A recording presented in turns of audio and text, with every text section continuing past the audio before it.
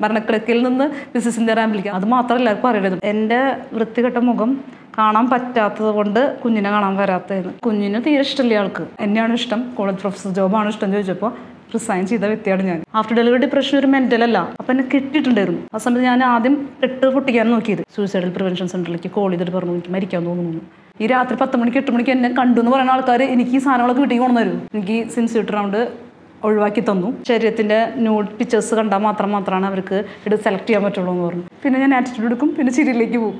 രണ്ടും റാമ്പിലൊക്കെ ആണല്ലോ. മറ്റുള്ളവരുടെ എന്താ അടിച്ചമർത്തലിൽ ജീവിക്കേണ്ടതല്ല നമ്മുടെ ജീവിതം. തുടക്കം ഇത് പ്ലസ് ടുവിൽ നിന്നായിരുന്നു. പ്ലസ് ടുവിൽ ഒരു വളർന്നു വരുമ്പോൾ തന്നെ എനിക്ക് ക്യാമറ ഫേസ് ചെയ്യുക അങ്ങനത്തെ ഒക്കെ ഭയങ്കര ഇഷ്ടമുള്ള കാര്യമായിരുന്നു. മോഡലിങ് ചെയ്യാൻ താല്പര്യം ഉണ്ടായിരുന്നു പക്ഷേ ആ ടൈമിലൊന്നും വീട്ടിൽ പറയുമ്പോൾ കാരണം മുസ്ലിം കമ്മ്യൂണിറ്റി കാരണം അവർ സമ്മതിക്കേണ്ടിയിരുന്നില്ല. വേണ്ട അങ്ങനെയൊന്നും വേണ്ടെന്ന് പറഞ്ഞു. പക്ഷേ ഏത് സമയം ഫോട്ടോ പോസ് ചെയ്യുക അങ്ങനെ അന്നും നമുക്ക് ഇതുപോലെ ക്യാമറാസും കാര്യങ്ങളൊന്നും ഇല്ല. നമ്മുടെ നോർമൽ ക്യാമറയിലാണല്ലോ ഇത് സ്മാർട്ട് ഫോൺസിലൊന്നും അപ്പോൾ പ്ലസ് വണ്ണിലായപ്പോൾ എനിക്ക് ഭയങ്കര ആഗ്രഹം തോന്നിയിട്ട് ഞാൻ സെൻസേഷനിലേ അതിലേക്ക് ഒരു ഫോട്ടോ സെൻഡ് ചെയ്ത് കൊടുത്തു.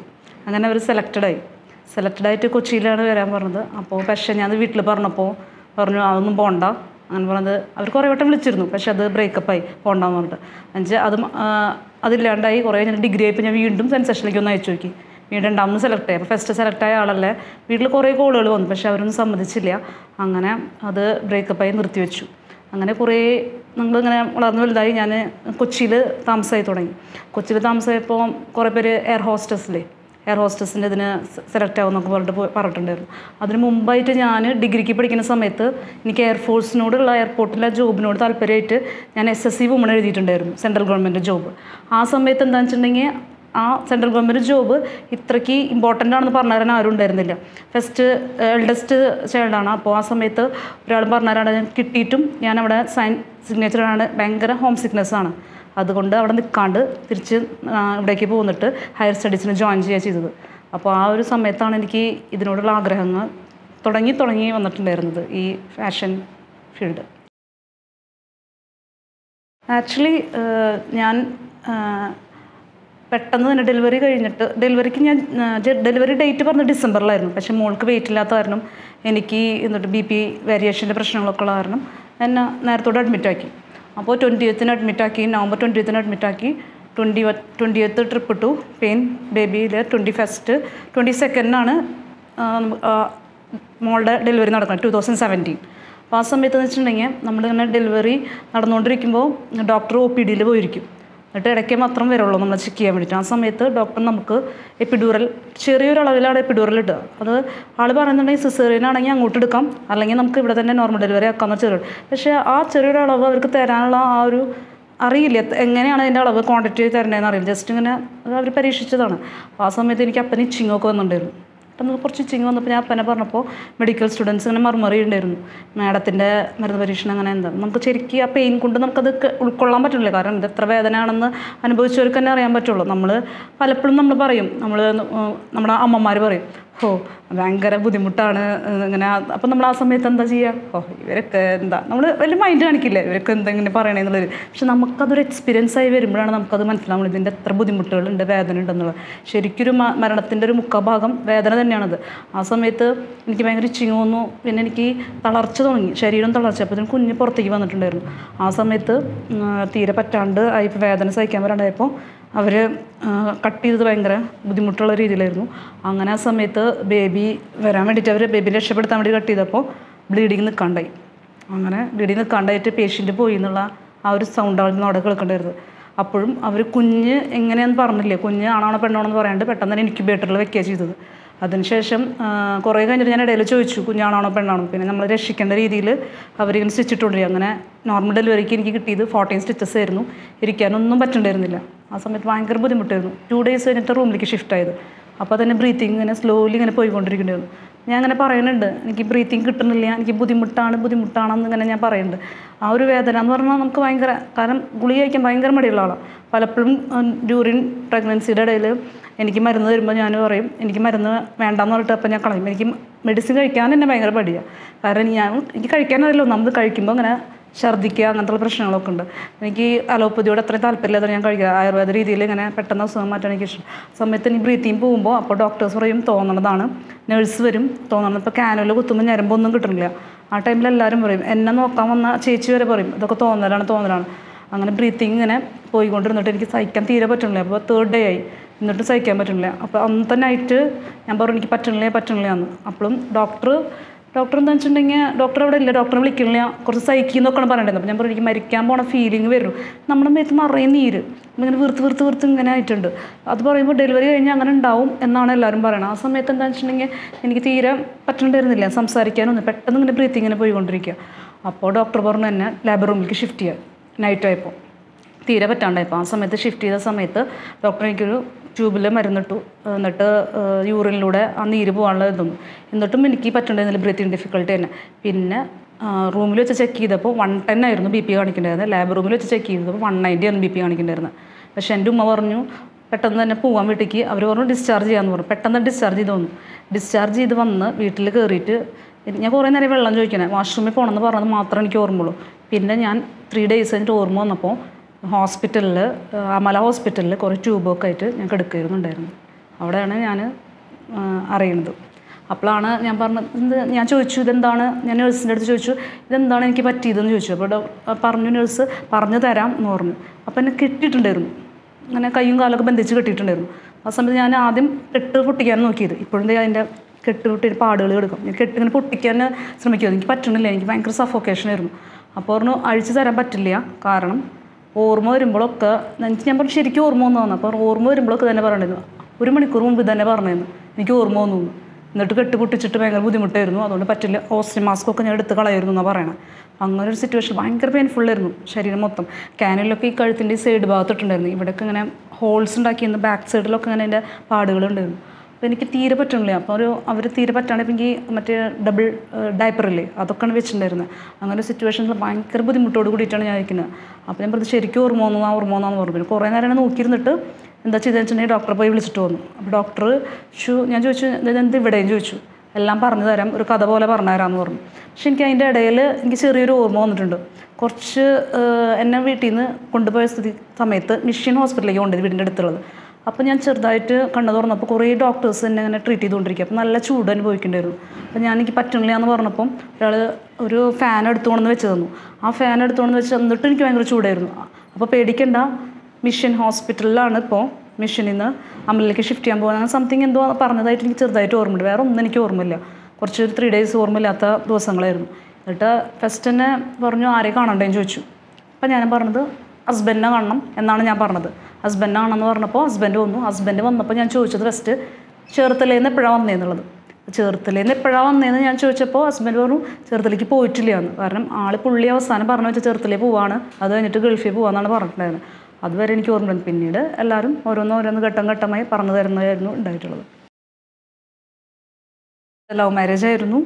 ഈ ഡെലിവറി കഴിഞ്ഞു. ഡെലിവറി കഴിഞ്ഞ് എല്ലാം കഴിഞ്ഞ് ആൾ എന്നെ വീട്ടിലാക്കി കഴിഞ്ഞിട്ട് ആൾ പിറ്റേ ദിവസം ഗൾഫിൽ പോയി. ബട്ട് എന്താണെന്ന് വെച്ചിട്ടുണ്ടെങ്കിൽ എല്ലാവർക്കും ഉള്ള പോലെ ഹസ്ബൻഡ് ഡെലിവറി കഴിഞ്ഞ ഹസ്ബൻഡിനെ അടുത്ത് വേണം എന്നുള്ള ഒരു ആഗ്രഹം എല്ലാ സ്ത്രീകൾക്കും ഉണ്ടാവുമല്ലോ അതുപോലെ തന്നെ എനിക്കുണ്ടായിരുന്നു കാരണം ഞാൻ കുഞ്ഞിനേക്കാളും കൂടുതൽ ഹസ്ബൻഡിനായിരുന്നു സ്നേഹിച്ചിട്ടുണ്ടായിരുന്നത്. എനിക്ക് വിട്ടുപിരിയാൻ ഒരിക്കലും പറ്റില്ലായിരുന്നു. അത്രയും അത്രയ്ക്കധികം സ്നേഹിച്ചു എന്ന് പറഞ്ഞാൽ അത്രയും പല പ്രശ്നങ്ങളുണ്ടായിട്ട് പോലും ഞാനത് സോറി പറയുമ്പോൾ കൂടെ നിന്ന് സ്നേഹിച്ചുകൊണ്ട് അത് പോട്ടെ പോട്ടെ എന്ന് വിചാരിച്ചുകൊണ്ടിരിക്കുന്നുണ്ടായിരുന്നു. അപ്പോൾ ആ ടൈമിൽ പുള്ളിയോട് ഒന്നുകൂടി ലീവ് എടുക്കാൻ പറഞ്ഞപ്പോൾ ആൾ സമ്മതിക്കാണ്ടായിരുന്നു പോയിന്റ് എനിക്ക് കിട്ടില്ല എന്ന് പറഞ്ഞിട്ട്. ആ സമയത്ത് എനിക്ക് ആഫ്റ്റർ ഡെലിവറി ഡിപ്രഷൻ വന്നിട്ടുണ്ടായിരുന്നു. പോസ്റ്റ് പാർട്ട് ഡിപ്രഷൻ എന്ന് പറയും.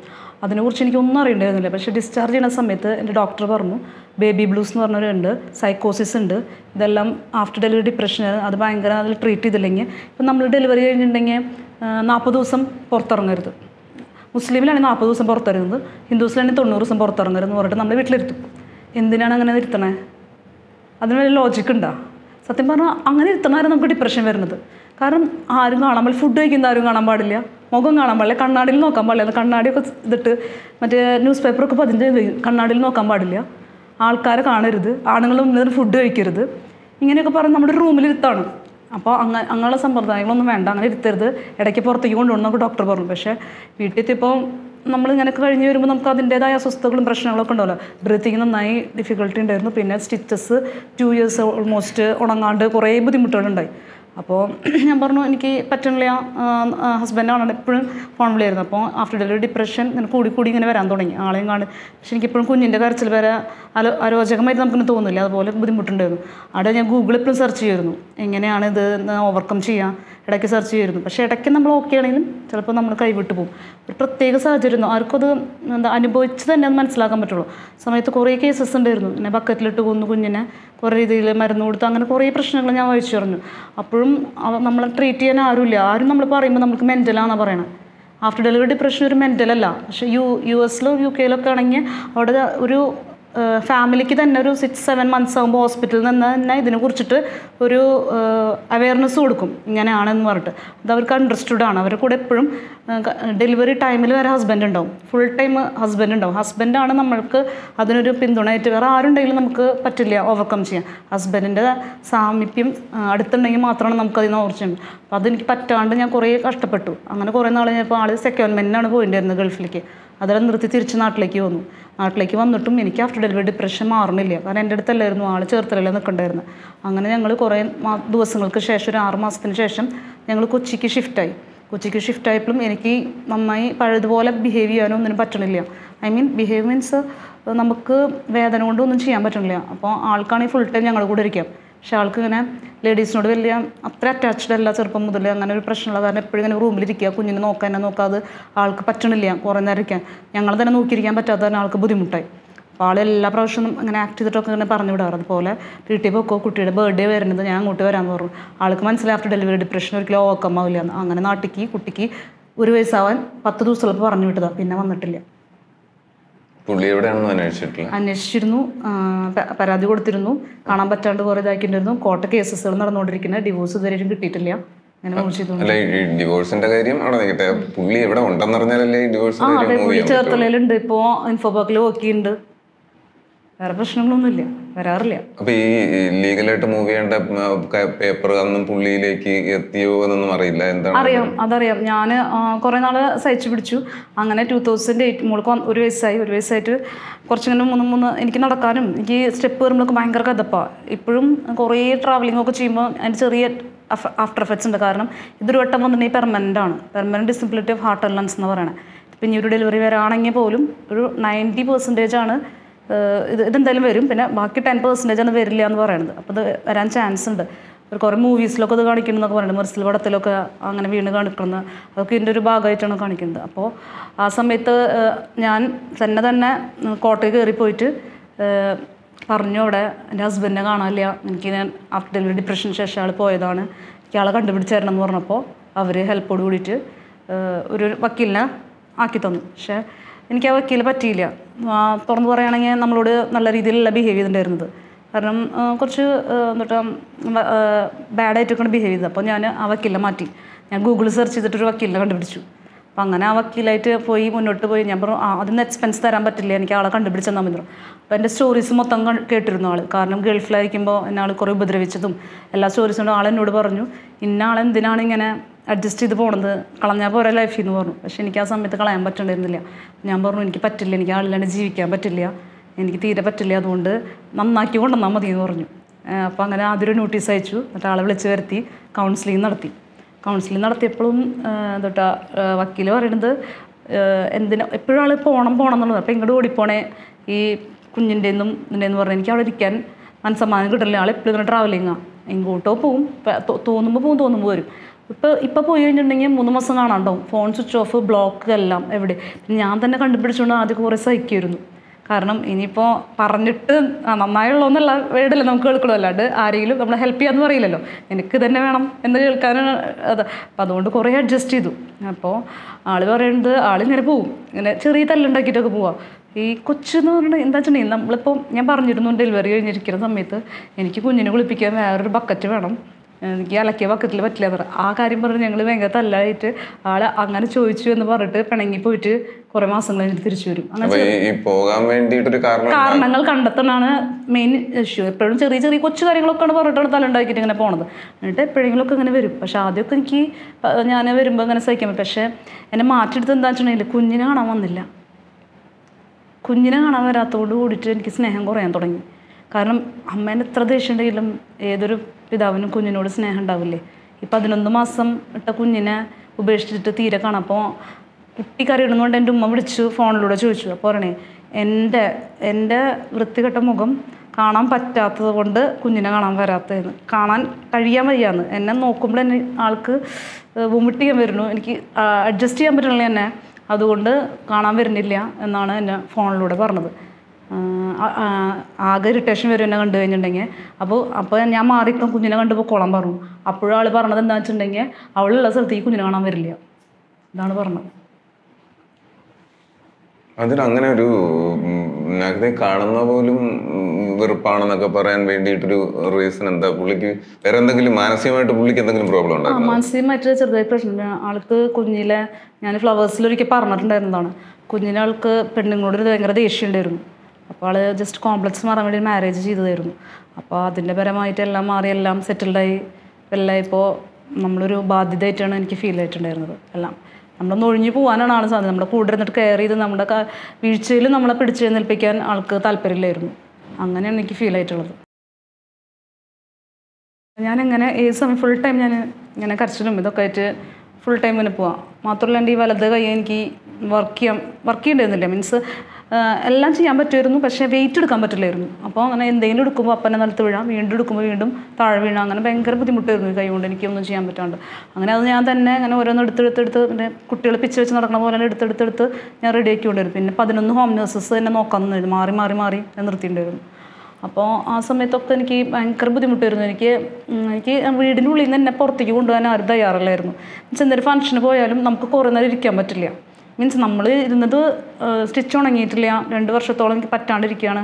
എന്നിട്ടും ഞാൻ എന്റെ അനിയന്റെ മാരേജൊക്കെ ഇപ്പോൾ പെണ്ണ് കാണാൻ കൂടെ പോയിരുന്നത്. അതൊക്കെ ഇങ്ങനെ ഭയങ്കര ബുദ്ധിമുട്ടിയിരുന്നിട്ടാണ് നമ്മൾ പോണത്. അപ്പോൾ നമ്മളെ കൊണ്ടുപോകുമ്പോൾ എല്ലാവർക്കും ബുദ്ധിമുട്ടാണ് കാരണം അസുഖമുള്ള ആൾക്കാരെ കൊണ്ട് നടക്കാമെന്ന് പറഞ്ഞാൽ എല്ലാവർക്കും ബുദ്ധിമുട്ടുള്ള കാര്യം. അതെനിക്ക് വയ്യാണ്ട് എന്തോ മനസ്സിലായി.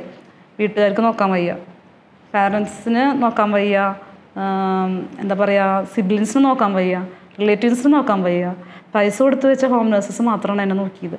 അതിൽ ഒരു ഒരു എടുത്തു പറയുന്ന ഒരു ഫാക്ടറാണെന്ന് വെച്ചാൽ എന്റെ അനിയത്തി എന്നെ കുറച്ച് ഹെൽപ്പ് ചെയ്തിട്ടുണ്ട്. കാരണം എനിക്ക് അതിനുശേഷം ഫിഷറൊക്കെ വന്നിട്ട് ഭയങ്കര ബുദ്ധിമുട്ടായിരുന്നു. ആ സമയത്ത് ഡോക്ടർ ഓപ്പറേഷൻ വേറെ പറഞ്ഞപ്പോൾ കുറച്ച് ഡയറ്റ് തന്നിട്ടുണ്ടായിരുന്നു. അപ്പോൾ എനിക്ക് മുറിച്ചിടാൻ പറ്റാത്ത കാരണം ആൾ എന്നെ ഹെൽപ്പ് കഴിക്കാനും പിന്നെ ഡയറ്റിനൊക്കെ വേണ്ടിയിട്ട് ഹെൽപ്പ് ചെയ്തിട്ടുണ്ടായിരുന്നു. വേറെ എവിടുന്നും ബന്ധുക്കളിൽ നിന്ന് ഇവിടുന്നൊന്നും കാണാൻ വരും. കൂടെ ഇതാക്കും. അല്ലാണ്ട് നമ്മൾക്കൊരു പ്രചോദനം തരുന്ന രീതിയിലുള്ള വാക്കുകളൊന്നും വന്നില്ല. ഞാൻ ആകെ ഡിപ്രഷനായിട്ട് കരഞ്ഞിരിക്കുന്ന സമയത്ത് ഒരു ഞങ്ങളുടെ ഞങ്ങൾ ദുബായി പോയപ്പോൾ മലയാളി മിഡിൽ ലിസ്റ്റ് എന്ന് പറഞ്ഞിട്ടൊരു ഗ്രൂപ്പ് ഉണ്ടായിരുന്നു. ആ ഗ്രൂപ്പിൽ കുറേ ലേഡീസിന്റെ അമ്മമാരുടെ ഗ്രൂപ്പുകൾ ആ ഗ്രൂപ്പിൽ ഞാൻ ഡിപ്രഷൻ ചെയ്യുന്ന ഒരു കുട്ടി എന്നോട് ചോദിച്ചു ഫേസ്ബുക്കിൽ ആൾ കുറച്ച് ഫേമസ് ആണ് അങ്ങനെ യൂട്യൂബൊക്കെ ചെയ്യുന്ന ആളാണ് ബ്ലോഗറാണ് നൂർജഹാൻ ഷാമർ ആ കുട്ടി എന്നോട് ചോദിച്ചു ഗ്രൂപ്പിൽ ആഡ് ചെയ്യട്ടേന്ന്. വാട്സപ്പ് ഗ്രൂപ്പിൽ ആഡ് ചെയ്യട്ടേന്ന്. ഞാൻ ആഡ് ചെയ്തോളം പറഞ്ഞു. അപ്പോൾ അവിടെ ദുബായിൽ അവർ ഹസ്ബൻഡ്സൊക്കെ ജോലിക്ക് പോകുമ്പോൾ നൈറ്റ് അവർ ഫ്രീ ആയിരിക്കും. ടൈം വ്യത്യാസം ഉണ്ടല്ലോ ആ സമയത്ത് അവർ എനിക്ക് ഡിപ്രഷനെ സമയത്ത് ഇങ്ങനെ ചാറ്റ് അടിക്കുമായിരുന്നു ഇങ്ങനെ. എന്താ അങ്ങനെ കാര്യങ്ങളൊന്നും കുറേ കുറേ ഷെയർ ചെയ്യും കുറേ. ആ ഷെയർ ചെയ്യുന്ന സമയത്ത് നമ്മൾ ഓക്കെ ആയിരിക്കും. പിന്നെ വീണ്ടും പഴയതുപോലെ തന്നെ ആവും. കരച്ചിലായി പിഴിച്ചിലായി പിന്നെ എന്തെങ്കിലും മരുന്നെടുത്ത് കഴിഞ്ഞിട്ട് ആത്മഹത്യ ചെയ്യാൻ തോന്നും ചില സമയത്ത്. അങ്ങനെയൊക്കെ ഭയങ്കരമായിട്ട് ബുദ്ധിമുട്ടിക്കൊണ്ടിരിക്കുന്നു എല്ലാവരോടും പറയുമ്പോൾ എല്ലാവരും പറയും സൈക്കാട്രിസ്റ്റിനെ കാണിക്കാം സൈക്കാട്രിസ്റ്റിനെ കാണിച്ച് ഗുളിക കഴിച്ചുകൊണ്ടിരുന്നുണ്ടെങ്കിൽ ശരിയാവുന്നവരാണ് പക്ഷേ ഗുളിക കഴിക്കാൻ മടിയുള്ള ഞാൻ സൈക്കാട്രിസ്റ്റ് അല്ല. ആരെ കൊണ്ടുപോയി കളിച്ചാലും ഗുളിക കഴിക്കാനും കഴിക്കില്ല കുറേ കഷ്ടപ്പെട്ട് തീരെ പറ്റാണ്ട് ഇടയ്ക്കൊക്കെ ഇങ്ങനെ ഇതാകുമ്പോൾ ഞാൻ ഗൂഗിൾ സെർച്ച് ചെയ്യും. എന്നിട്ട് എനിക്ക് മരിക്കാൻ തോന്നി. സൂയിസൈഡ് സൂയിസൈഡ് ചെയ്യാൻ തോന്നിയപ്പോൾ ഞാൻ എന്താ ചെയ്തതെന്ന് വെച്ചിട്ടുണ്ടെങ്കിൽ റിഹാബിലിറ്റേഷൻ സെന്ററിലേക്ക് വിളിച്ചു. സൂയിസൈഡൽ പ്രിവെൻഷൻ സെന്ററിലേക്ക് കോൾ ചെയ്തിട്ട് പറഞ്ഞു എനിക്ക് മരിക്കാൻ തോന്നുന്നു. അപ്പോൾ അവർ ചോദിച്ചു എന്താ കാരണം? എന്ന് ചോദിച്ചു എന്നോട്. അപ്പോൾ ഞാൻ പറഞ്ഞു എനിക്ക് ഇങ്ങനെയുള്ള പ്രശ്നങ്ങളൊക്കെ ഉണ്ട്. എനിക്ക് ഹസ്ബൻഡ് ഇല്ലാണ്ട് പറ്റണില്ല എന്നൊക്കെ പറഞ്ഞു. കുറേ കഥകളൊക്കെ പറഞ്ഞു ഹസ്ബൻഡ് അങ്ങനെയായിരുന്നു ഇങ്ങനെ. അപ്പോൾ പറഞ്ഞു ആൾക്കൊരു സൈക്കോണെന്ന് എനിക്ക് തോന്നണേ. അത് വിട്ട് കളഞ്ഞൂടെ എന്നൊക്കെ പറഞ്ഞു. അപ്പം നമുക്കതൊന്നും കേൾക്കുമ്പോൾ പറ്റില്ല. എനിക്ക് ആൾ തന്നെ വേണം. അതന്നെ പറഞ്ഞുകൊണ്ടിരിക്കുന്നത് ഞാൻ ഫുൾ ടൈം എന്നിട്ട് എനിക്ക് ഓവർ പക്ഷെ അവർ സംസാരിക്കുന്ന ടൈം രാവിലെ സെവൻ ടു വൈകിട്ട് സെവൻ വരെയാണ്. ആ ടൈമിൽ നമ്മൾ ഓക്കെ ആയിരിക്കും. പലപ്പോഴും നമ്മൾ ഞാൻ അയാളെ വിളിക്കും. ആരും എന്നെ കേൾക്കാൻ കൂട്ടാക്കണില്ല. കുറേ ഒരു ചാറ്റിയും ചെയ്യും അങ്ങനെയായിട്ടും. ഒരു റൂമിൽ തന്നെ ഇരിക്കല്ല. അപ്പോൾ വിളിക്കും. എന്നിട്ട് ഞാൻ എന്റെ കാര്യങ്ങൾ പറയും. പലപ്പോഴും പല പല ആൾക്കാരെടുക്കുക വീണ്ടും പിന്നെ അവരൊരു മൈൻഡ് മെൻഡറിന്റെ നമ്പർ തന്നു. അത്രയും ബുദ്ധിമുട്ടാണെങ്കിൽ ഇവരെ വിളിച്ചു എന്ന് പറഞ്ഞിട്ട് അപ്പോൾ ആളെ വിളിച്ചിട്ടും ഇങ്ങനെ ടോക്ക് ചെയ്തുകൊണ്ട് ആൾ കുറേ കാര്യങ്ങൾ പറയുമായിരുന്നു പക്ഷെ ആ മൈൻഡ് മെൻഡറിനെ കൂട്ടിയിട്ടാണ് ഞാൻ ഫ്ലവേഴ്സ് ഒരു കൂടിക്ക് പോയത്. അപ്പോൾ ആ മൈൻഡ് മെൻഡർ എനിക്ക് കുറേ കാര്യങ്ങൾ തരും. അപ്പോൾ തരുന്ന സമയത്ത് നമ്മൾ ഓക്കെ ആവും. പിന്നെ വീണ്ടും ഡിപ്രസ്ഡ് ആവും. അവനൊന്നും പറ്റാണ്ട് ഇങ്ങനെ ഇരുന്നുകൊണ്ടിരിക്കണം അങ്ങനെയാണ് ആ കൊറോണ ടൈം വന്നത്. എയ്റ്റീൻ കഴിഞ്ഞു നയന്റീനിൽ കേസസ് നടന്നുകൊണ്ടിരിക്കുകയാണ് പിന്നെ corona twenty twenty twenty twenty twenty ഇപ്പോൾ വീണ്ടും ഡള്ളായി ഒന്നും ചെയ്യാൻ പറ്റാത്തൊരവസ്ഥയായി. ആകെ കരച്ചിലും പിഴിച്ചിലൊക്കെ ആയി. പിന്നെ പുറത്തേക്ക് ഇറങ്ങാൻ പാടില്ല. പിന്നെ കൊറോണയുടെ ഇഞ്ചക്ഷൻ ചെയ്യണമെന്ന് പറഞ്ഞപ്പോൾ എനിക്ക് ഹാർട്ടിന് പ്രോബ്ലം ഉള്ള കാരണം എടുക്കണ്ടെന്ന് പറഞ്ഞു. അങ്ങനെ അതും ചെയ്തില്ല. എന്നിട്ട് റൂമിനുള്ളിൽ ഇരിക്കുക തന്നെ വേറെ ഒന്നുമില്ല എപ്പോഴും കരച്ചിലും അതങ്ങനെ ഇങ്ങനെ ചെയ്തുകൊണ്ടിരിക്കുക കണ്ടിന്യൂസ് ആയിട്ട് കരച്ചിൽ തന്നെ. കുറേ എന്നിട്ട് തീരെ പറ്റാണ്ടായപ്പോൾ കൊണ്ടായിട്ട് മിഷൻ ഹോസ്പിറ്റലിൽ സൈക്കാട്രിസ്റ്റിനെ കാണിച്ചു. എന്നിട്ട് കാര്യങ്ങളൊക്കെ പറഞ്ഞു. അങ്ങനെ എപ്പോഴും കരച്ചിലാണ് ഇതാണെന്ന്. അപ്പോൾ ഡോക്ടറിനോട് പറഞ്ഞതെന്ന് വെച്ചിട്ടുണ്ടെങ്കിൽ ആ, മരുന്ന് എഴുതണമെന്ന് ചോദിച്ചു എന്നോട് ഞാൻ പറഞ്ഞു മരുന്ന് കഴിക്കാൻ മടിയാന്ന് പക്ഷെ മരുന്ന് എഴുതിയവർ പക്ഷേ എഴുതി ഞാൻ ഒരു ദിവസം കഴിച്ചു മരുന്ന്. പക്ഷേ ആക്ഷൻ എനിക്ക് മരുന്നിന് എപ്പോഴും റിയാക്ഷൻ വരുന്ന ആളാണ് ഞാൻ എനിക്ക് ഡിഗ്രി പഠിക്കുമ്പോൾ റിയാക്ഷൻ വന്നിട്ടുണ്ട് കണ്ണ് കാണാണ്ടിരുന്നിട്ടുണ്ട്. അങ്ങനെ ഒരേ പ്രശ്നങ്ങൾ റിയാക്ഷൻ വരുന്ന കാരണം ഞാനൊരു ദിവസം കൂടെ കഴിച്ച് ഞാൻ നിർത്തി. എനിക്കിങ്ങനെ ഷിവറിങ് പോലെയൊക്കെ വന്നു. ഞാൻ പാരലൈസ്ഡ് പോലെയൊക്കെ വന്നു ഇങ്ങനെ ഫേസിന്റെ സൈഡിൽ ഞാൻ ടോട്ടലി എല്ലാം മരുന്നെടുത്ത് കളഞ്ഞു നിർത്തി. ഒന്നും ചെയ്തില്ല. പിന്നെ ഞാൻ വീണ്ടും കരച്ചിലും അതന്നെ കണ്ടിന്യൂ ചെയ്തു. ഒരു ദിവസം ഇരിക്കുന്ന സമയത്ത് ഞാനിങ്ങനെ വെറുതെ ഇൻസ്റ്റാഗ്രാമൊക്കെ കൊടുത്തിരുന്ന സമയത്ത് ഇങ്ങനെ മിസ്സിസ് കേരളയുടെ എന്തോ കണ്ടു. അപ്പോൾ മിസ്സിസ് കേരള ഇത് കണ്ടപ്പോൾ പെട്ടെന്ന് മൈൻഡ് ഇങ്ങനെ ഡൈവേർട്ടായിട്ട് ആ സെൻസേഷൻ ലൈഫിലേക്ക് ഇങ്ങനെ പോയി. അങ്ങനെ ഇങ്ങനെ മിനിമർ മിസ്സിസ് കേരള പറഞ്ഞ് അപ്ലൈ ചെയ്തു. അപ്ലൈ ചെയ്തപ്പോൾ ഒരു റാം വോക്കിന്റെ ഒരു വീഡിയോ ചോദിച്ചു. റാം വോക്കിന്റെ വീഡിയോ ചോദിച്ചപ്പോൾ ഇപ്പോൾ റാം വോക്കൊന്നും ചെയ്ത വീഡിയോസ് ഒന്നും ഇല്ല പ്രസന്റ്ലി അപ്പോൾ ഞാൻ അപ്ലൈ ചെയ്തപ്പോൾ അവർ ഒരു ഒരു ഓഡിയോ ക്ലിപ്പ് എന്തെങ്കിലും ഒരു പറഞ്ഞു വീഡിയോ ക്ലിപ്പ് അപ്പോൾ അങ്ങനെ ഇട്ടപ്പോൾ അവർ സെലക്ട് ആയി. അപ്പോഴാണ് മെസ്സേജ് കേരള നിർത്തലാക്കി. മറ്റേ കൊറോണ കാരണം ഇനി പറ്റില്ല എന്നൊക്കെ പറഞ്ഞു. അങ്ങനെ ഇരിക്കുന്ന സമയത്ത് ട്വന്റി ട്വന്റി കഴിഞ്ഞു. ട്വന്റി ട്വന്റി വണ്ണ് പകുതിയോടും കരച്ചിലും പിഴിച്ചിലൊക്കെ തന്നെ. അങ്ങനെ ഞാൻ ചെറുപ്പത്തിൽ യോഗ പഠിച്ചിട്ടുണ്ടായിരുന്നു. അപ്പോൾ എല്ലാവരും വെയിറ്റ് കൂടി എന്നൊക്കെ പറഞ്ഞിട്ടുള്ള പ്രശ്നം. അപ്പോൾ എനിക്ക് എക്സസൈസ് സ്റ്റാർട്ട് ചെയ്യും എനിക്കാണെങ്കിൽ വെയിറ്റ് കൂടുന്നത് ഇഷ്ടമല്ല. ഞാൻ ഭയങ്കര മിതമായ രീതിയിൽ ഫുഡ് ഒക്കെ ആളാണ് അപ്പോൾ ആദ്യം ഞാൻ എന്താ ചെയ്യുന്നുണ്ടെങ്കിൽ മാറാൻ വേണ്ടിയിട്ട് കുഞ്ഞ് കുഞ്ഞിന് സംസാരിക്കാൻ കുഞ്ഞു കഴിഞ്ഞ് ഒമ്പത് മാസമായപ്പോൾ സംസാരിക്കാൻ തുടങ്ങി. അപ്പോൾ ആൾ ഭയങ്കര ആക്റ്റീവാണ് അങ്ങനെ ജെൻഡർ നോളജ് എല്ലാം പറഞ്ഞിട്ട് ഞാൻ പറഞ്ഞു കൊടുക്കുന്നതൊക്കെ ആൾ മമ്മ മമ്മ എന്നൊക്കെ എന്നെ വിളിക്കാൻ തുടങ്ങി. പിന്നെ വെട്ടം തന്നെ നടന്നു തുടങ്ങി. ആ സമയത്തായപ്പോൾ കുഞ്ഞിന്റെ കൈ പിടിച്ചിട്ട് വൈകിട്ട് ഇങ്ങനെ പുറത്തിങ്ങനെ നടക്കാൻ തുടങ്ങി. ഇങ്ങനെ ആരും പുറത്തിറങ്ങണ്ടെന്ന് പറയും. പുറത്തിറങ്ങണ്ട ഇരുന്നോ ഇത് അസുഖമൊക്കെ ഇല്ല തലയിറങ്ങി വീഴും. നടന്നു കഴിഞ്ഞ് കുറച്ച് പേര് പിടിക്കാൻ ആരും ഉണ്ടാവില്ല എന്നൊക്കെ പറയും ഞാനതൊന്നും കേട്ടില്ല. ഞാൻ ആദ്യം ഒരു അഞ്ച് മിനിറ്റ് നടന്നു. നല്ല കിതപ്പുണ്ടായിരുന്നു വീണ്ടും വന്ന് വീട്ടിലിരുന്നു. പിറ്റേ ദിവസം വീണ്ടും നടന്നു. അത് അഞ്ച് മിനിറ്റ് പത്ത് മിനിറ്റായി. ഒരാഴ്ച കഴിഞ്ഞാൽ പത്ത് മിനിറ്റായി. പിന്നെ പത്ത് മിനിറ്റ് ഞാൻ മാരത്തോണൊക്കെ പോയി പോണ ആളായിരുന്നു. എന്റെ അനിയത്തി മാരത്തോൺ പോണ ആളായിരുന്നു. അപ്പോൾ ഇപ്പോൾ അതൊന്നും പറ്റില്ലല്ലോ. അപ്പോൾ ഞാനിങ്ങനെ വീണ്ടും അഞ്ച് മിനിറ്റ് നടക്കും വീണ്ടും വീട്ടിലിരിക്കും. പിന്നെ എല്ലാവരും കളിയാക്കും. അപ്പുറത്തെ ആൾക്കാർ കളിയാക്കും. എങ്ങനെ നടന്നിട്ടുണ്ടായിരുന്ന ആളാന്ന് പറയും. പിന്നെയും പത്ത് മിനിറ്റായി. പിന്നെ അരമണിക്കൂറായി. പിന്നെ ഒരു മണിക്കൂറായി. അങ്ങനെ ഞാൻ നടത്തത്തിൽ മാത്രം കോൺസെൻട്രേഷൻ കൊടുത്തു. ഇടയ്ക്ക് കുഞ്ഞിന്റെ കൈ പിടിച്ച് നടക്കും. ഇടയ്ക്ക് സിസ്റ്ററിന്റെ കുട്ടി നടക്കും. അങ്ങനെ അങ്ങനെ നടക്കാൻ തുടങ്ങി. അപ്പോൾ എല്ലാവരും പറയാൻ തുടങ്ങി ഹസ്ബൻഡൊക്കെ ഇല്ലാണ്ട് എങ്ങനെ ഉണ്ടായിരുന്ന ആളാണ്. ഇപ്പോൾ അവൾക്ക് ഒരു ചിന്ത ഇല്ല ഹസ്ബൻഡിനെ കുറിച്ചിട്ട്. ഇപ്പോൾ അവൾ സ്വയം തന്നെ നടക്കാൻ തുടങ്ങിയിരിക്കും പുറത്തിറങ്ങാൻ തുടങ്ങിയിരിക്കുന്നു. എന്തൊക്കെയാണ് കാണണം എന്നൊക്കെ പറഞ്ഞിട്ട് കുറേ പറയണ്ട. അതൊന്നും ഞാൻ മൈൻഡ് ആക്കിയില്ല. കാരണം ഞാൻ ഇങ്ങനെ കിടക്കുന്ന സമയത്ത് ഇവരാരും വന്നിട്ടില്ല. മോളെ എഴുന്നേറ്റ് വാന്ന് പറഞ്ഞിട്ട് വന്നിട്ടില്ല. അപ്പം എന്റെ മോൾക്ക് ഞാൻ വേണം. ഞാനുണ്ടെങ്കിൽ മാത്രം ഹസ്ബൻഡ് തിരിഞ്ഞു നോക്കണില്ല. അങ്ങനത്തെ കുഞ്ഞിനെ പോലും തിരിഞ്ഞു കൊടുക്കാത്ത കുഞ്ഞെന്ത് തെറ്റ് ചെയ്തു? ഞാനിങ്ങനെ കിടന്നുകൊണ്ടേ ഇരിക്കുക അപ്പോൾ ഈ കുട്ടീനെ ആരും നോക്കും? ഹസ്ബൻഡ് ഇല്ല ഉമ്മക്കാണെങ്കിൽ കാലിന് വയ്യാണ്ടിരിക്കുക ബന്ധുക്കളിൽ ഇല്ല ആരും നോക്കും? ഞാൻ തന്നെ പ്രസവിച്ച കുഞ്ഞല്ലേ. പിന്നീട് എനിക്ക് ഞാനിങ്ങനെ കുറേ യു കെയുടെ ഡോക്ടേഴ്സിന്റെ ഒക്കെ വീഡിയോസുകൾ കാണാൻ തുടങ്ങി. ഈ ആഫ്റ്റർ ഡെലിവറി ഡിപ്രഷൻ അങ്ങനെ തന്നെ ഫുള്ള് ഈ mind മെന്ററിന്റെ help depression suicide prevention centre അങ്ങനെ ഫുള്ള് ഇങ്ങനെ കണ്ട് കണ്ട് കണ്ട് കണ്ട് കണ്ടിട്ട് എനിക്കും ചെറുതായിട്ട് എനിക്ക് എനിക്കിങ്ങനെ ടോക്ക് ചെയ്യുമ്പോൾ കുഴപ്പമില്ല. നമ്മൾ ഐഡിയയിലായിരിക്കുമ്പോൾ പ്രശ്നം എന്ന് എനിക്ക് മനസ്സിലായി. നൈറ്റിലാണ് എനിക്ക് കൂടുതൽ പ്രശ്നം. നൈറ്റിൽ ഇപ്പോൾ ആരോടും മിണ്ടാൻ പറ്റണില്ലല്ലോ.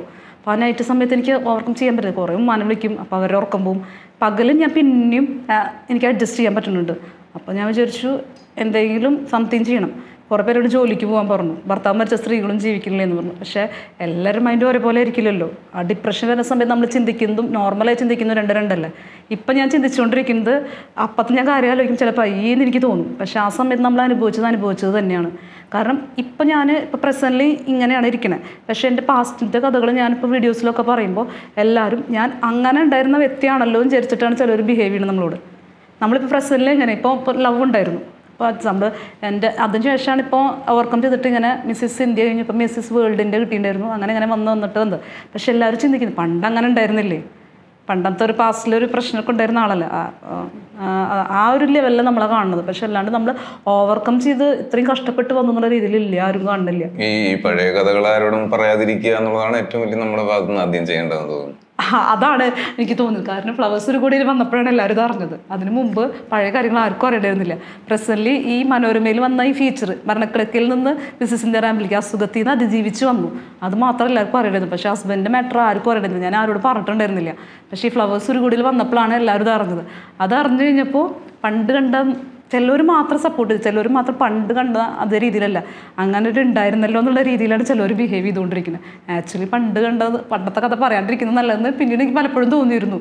പക്ഷേ എനിക്ക് എന്താണെന്ന് വെച്ചിട്ടുണ്ടെങ്കിൽ എന്താ വെച്ചിട്ടുണ്ടെങ്കിൽ എനിക്ക് മാറ്റാനുള്ള കാരണം എന്താ വെച്ചിട്ടുണ്ടെങ്കിൽ ഇപ്പോൾ എല്ലാവരും വിചാരിക്കും അപ്പോൾ ഈ ഹസ്ബൻഡ് കാരനാണ് ഞാൻ ഇങ്ങനെ ഒരു സ്ഥലത്ത് എത്തിയെന്നുള്ളത്. ഒരു പ്ലാറ്റ്ഫോമിലെത്തി ഹസ്ബൻഡ് സപ്പോർട്ട് അതുകൊണ്ടാണ് കുഞ്ഞിങ്ങനെ ഓവർകം ചെയ്ത് വന്നത്. ഒക്കെ കരുതുന്നുണ്ടാവും എല്ലാവരും. ഇപ്പോൾ ഞാനിത് പാസ്റ്റ് പറഞ്ഞിട്ടില്ല എനിക്ക്. അത് അപ്പോൾ എനിക്ക് തോന്നി ഇത്ര നാളായില്ല ഇങ്ങനെയെന്ന് പറഞ്ഞിട്ട്. അപ്പോൾ എല്ലാവർക്കും ഒരു പ്രചോദനമായിട്ട് എന്റെ ലൈഫ് ഒന്ന് എന്നിട്ട് എന്താ പറയുക ഇങ്ങനെയാണ് ഓവർകം ചെയ്തതെന്നുള്ള പറഞ്ഞ് ഇപ്പോഴും കുറേ പേര് കഷ്ടപ്പെടാൻ അനുഭവിക്കുന്നുണ്ട് ആഫ്റ്റർ ഡെലിവറി ഡിപ്രഷന് ശേഷം. കുറേ പേര് എന്നെ കോൾ ചെയ്തു മനോരമയിലും. ഇവിടെ ഈ ഫ്ലവേഴ്സ് ഒരു കൂടി കഴിഞ്ഞപ്പോൾ എന്നെ കോൾ ചെയ്തിട്ട് ചോദിച്ചു എന്നോട്. ഇതെങ്ങനെയാണ് ഓവർകം ചെയ്തതെന്നൊക്കെ. അപ്പോൾ അവർക്കൊരു ഹെൽപ്ഫുൾ ആയിക്കോട്ടെ എന്ന് കരുതിയിട്ടാണ് പറയാൻ കാരണം. അല്ലാണ്ട് എന്റെ കാര്യം പറഞ്ഞിട്ട് ഞാൻ സ്വയം തന്നെ എന്റെ മുഖത്ത് കരിവാരി തേക്കാന്ന് പറഞ്ഞു. അതിന് വേണ്ടിയിട്ടല്ല മറ്റുള്ളവർക്ക് പറഞ്ഞു ചിരിക്കാൻ വേണ്ടിയിട്ടുള്ളതല്ല പറഞ്ഞതെല്ലാം ഒരു നല്ലൊരു പോസിറ്റീവ് കാര്യത്തിന് വേണ്ടിയിട്ടായിരുന്നു. ഇപ്പോഴത്തെ പ്രസന്റിലുള്ള കാര്യം നോക്കിയാൽ മതി. പണ്ടുള്ളത് കഴിഞ്ഞതാണ്. കഴിഞ്ഞ് പാസ്റ്റ് ഇസ് പാസ്റ്റ് അത് കഴിഞ്ഞു. അതിങ്ങനെ വന്നു എന്നുള്ളത് അറിയിച്ചത് അത് അത് വെച്ചിട്ട് നമ്മളോട് ബിഹേവ് ചെയ്യാണ്ട് ഇരിക്കണം എന്നാണ് എനിക്ക് എല്ലാവരോടും ഒരു വട്ടം പറയാനുള്ള ഒരു കാര്യം. ഇപ്പോൾ കാണുന്നത് എന്താണെന്ന് വെച്ചിട്ടുണ്ടെങ്കിൽ ഇപ്പം എന്റെ മോൾ മോഡലിംഗ് ചെയ്യുന്നുണ്ട്. അതിപ്പോൾ ഭയങ്കര അവളൊരു ദിവസം വെച്ചിട്ട് എന്റെ ക്രൗണും എന്നെ മറ്റേ പോനഡ് ഹീൽ ഇട്ടിട്ട് നടക്കണ്ടായിരുന്നു. അപ്പോൾ ഞാൻ ചോദിച്ചു ഇതെന്താ അതൊക്കെ എടുത്ത് വെക്കുകയാണോ അപ്പോൾ എനിക്കും ഇങ്ങനത്തെ സമ്മാനങ്ങളൊക്കെ കിട്ടണം അപ്പോൾ ഞാൻ ചോദിച്ചു കുട്ടി ഒരു തമാശയ്ക്ക് പറയണത് പക്ഷേ ഒരു ഡിസൈനർ ഷോയ്ക്ക് പോയപ്പോൾ ഫസ്റ്റ് ഷോയിൽ തന്നെ അവർ കുഴപ്പമില്ല. ഇപ്പോൾ എട്ട് ഒമ്പത് ഷോകൾ ചെയ്തു തുടങ്ങി. ഇപ്പോൾ പെജൻ ഷോ ചെയ്ത് സബ് ടൈറ്റിൽ വിന്നർ കിട്ടി. പിന്നെ നമ്മുടെ എന്താ പറയുക ബോൽഗാട്ടി പാലസിലെ ബോൽഗാട്ടി പാലസിൽ ഒരു പെജൻ ഷോ ചെയ്തു. അവിടെയും കിട്ടി.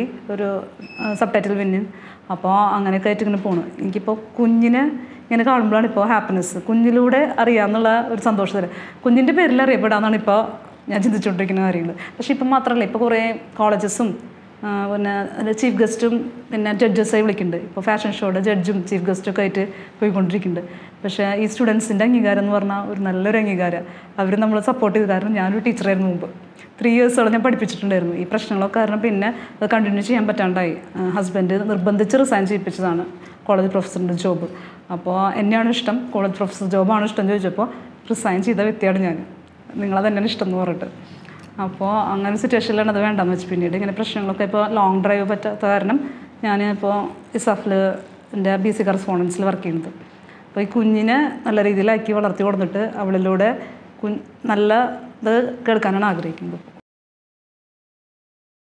ഇപ്പം ഞാൻ ഉമ്മ ഉണ്ണി ആണ് വീട്ടിൽ ഓൾമോസ്റ്റ് അനിയത്തി പുറത്താണ് വർക്കിന് ഇടയ്ക്ക് മാത്രം വരും. ഞാൻ ബാക്കി എല്ലാവരും ഗൾഫിലാണ് അപ്പം ഞങ്ങൾ മൂന്ന് പേര് മാത്രമേ ഉള്ളൂ. ഉമ്മക്കാണെങ്കിൽ മുട്ട് ബെഞ്ച് പൊട്ടി നടക്കാനും അത്രേ പറ്റില്ല. എന്തെങ്കിലും സാധനങ്ങൾ വാങ്ങണമെങ്കിൽ ഞാൻ ഓഫീസിലിരിക്കുമ്പോൾ വിളിച്ച് പറയും. ഞാൻ ഓഫീസ് വിട്ട് പോയി. ഇപ്പോൾ കുഞ്ഞിനുള്ള സാധനങ്ങളായാലും ടീച്ചേഴ്സ് എഴുതി തരുന്നതായാലും മറ്റേ പുത്തപ്പള്ളി ഏരിയയിലൊക്കെ പോയി നടന്ന് ഞാൻ എല്ലാ കടകളിലും കുറേ കയറി ഇറങ്ങി വില കുറവൊക്കെ നോക്കി തപ്പി. ഞാൻ എന്റെതായ രീതിയിൽ തന്നെ ഞാൻ കുറേ കഴിഞ്ഞിട്ട് ചിലപ്പോൾ ചില സമയത്ത് പതിനൊന്ന് മണിക്കൊക്കെ ആവും വീട്ടിലെത്താം കുറേ തപ്പി അപ്പോൾ ചോദിച്ചു പുത്തമ്പള്ളി എന്തായാലും പത്താം മണിക്കയിലാണ് പിന്നെ എന്തുകൊണ്ട് പതിനൊന്ന് മണിക്ക് എത്തിയെന്ന് പലരും ചോദിക്കാറുണ്ട്.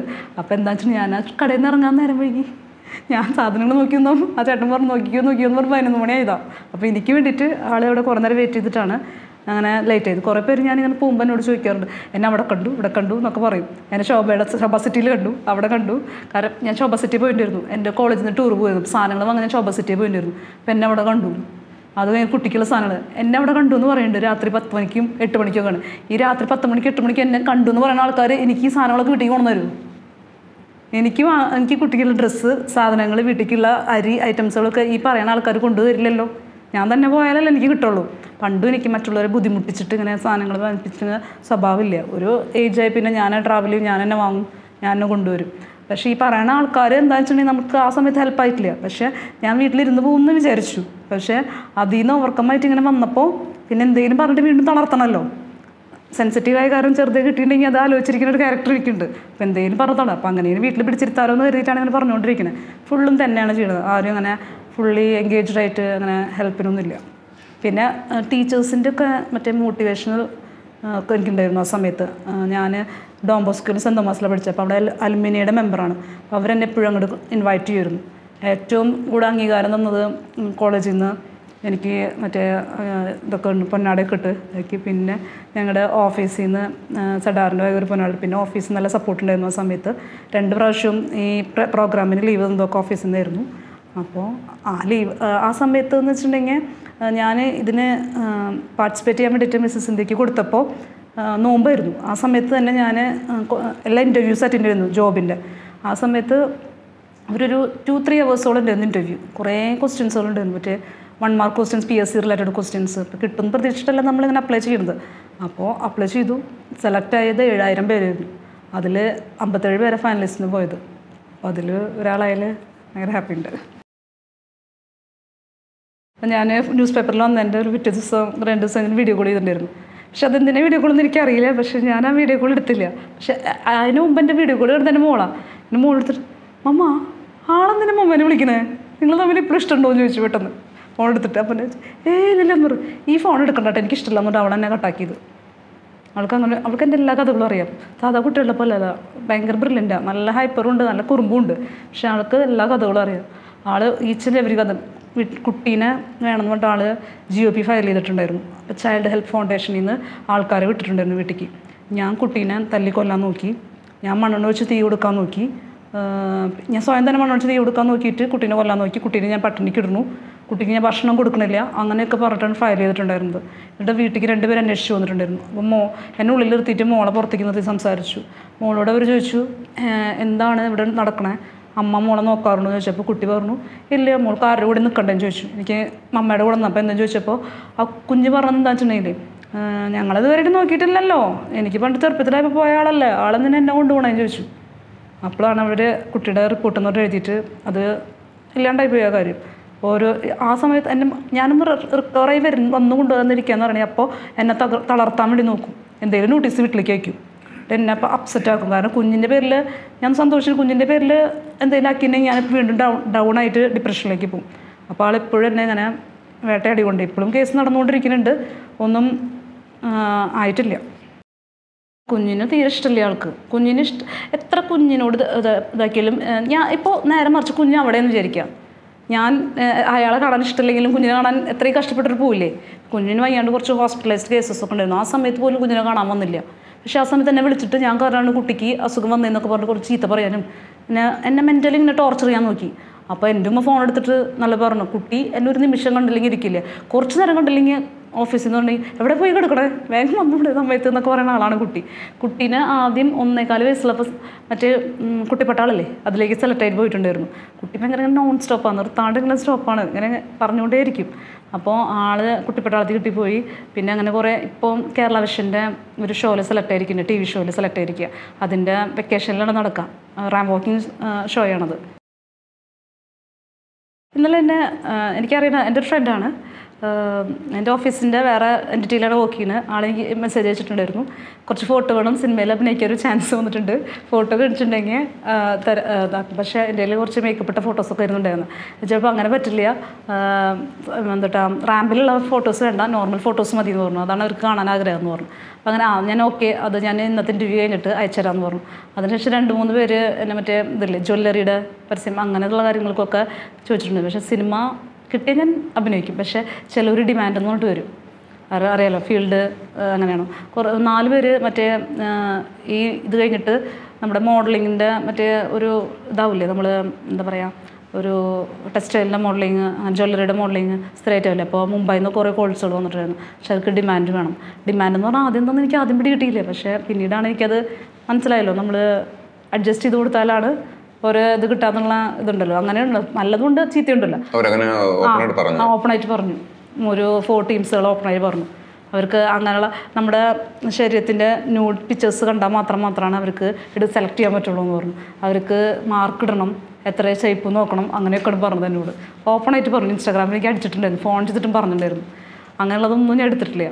പിന്നീടും ഈ ജഡ്ജസ് ആയിട്ട് പോകാന്ന് പറയുന്ന കേസസിൽ വെച്ചിട്ടുണ്ടെങ്കിൽ ചിലർ ഫിക്സ് ആക്കും. ടോട്ടൽ എല്ലാത്തിലും ഒരു കള്ളത്തരവും നല്ലതുണ്ട് കുറേ പേര് എന്നോട് ഫിക്സ് ആക്കിയിട്ട് ഉണ്ട് എന്നൊക്കെ പറഞ്ഞിട്ട് വിളിച്ചിട്ടുണ്ട് ജഡ്ജായിട്ട് അപ്പോൾ നമ്മൾ ഇന്ന ആൾക്ക് മാർക്ക് കൊടുത്താൽ മതി. എമൗണ്ട് നമുക്ക് കിട്ടും. പക്ഷെ അങ്ങനെയുള്ളതൊന്നും ഞാൻ പോയിട്ടില്ല. എനിക്കിഷ്ടമല്ല അത് പോണത്. കാരണം നമ്മളിത് കഴിഞ്ഞിട്ട് വന്നതാണ് നമ്മുടെ കുട്ടികൾ ഇങ്ങനെ ഇറങ്ങുന്നുണ്ട്. അപ്പോൾ നമ്മൾ നന്നായി ചെയ്യുന്ന ആൾക്കാർക്ക് കൊടുക്കാണ്ട് ഇപ്പോൾ അവരുടെ ഇഷ്ടത്തിനനുസരിച്ചിട്ട് ഇഷ്ടം കൊടുക്കണമെങ്കിൽ എന്തൊട്ട് ബാക്കിയുള്ളവരെല്ലാം കോമാളി വേഷം കിട്ടിയ പോലല്ലേ? അപ്പം എല്ലാവർക്കും അതിന്റേതായ അവകാശം എല്ലാവരും ഒന്നിലൊന്ന് പല ആരും ബാഡല്ല എല്ലാവരും ഒന്നൊന്ന് വെച്ചിട്ട് അപ്പോൾ എനിക്ക് ചിലപ്പോൾ നന്നായിട്ട് ഡാൻസ് കളിക്കാൻ അറിയണം വേറെ ആൾക്ക് പാട്ട് പാടാനുള്ള കഴിവുണ്ടാവും. അപ്പം എല്ലാവർക്കും ഓരോ കഴിവുകളുണ്ട്. അപ്പം എല്ലാ കുഞ്ഞു മനസ്സെന്ന് പറഞ്ഞാൽ എല്ലാം ഒന്നാണ്.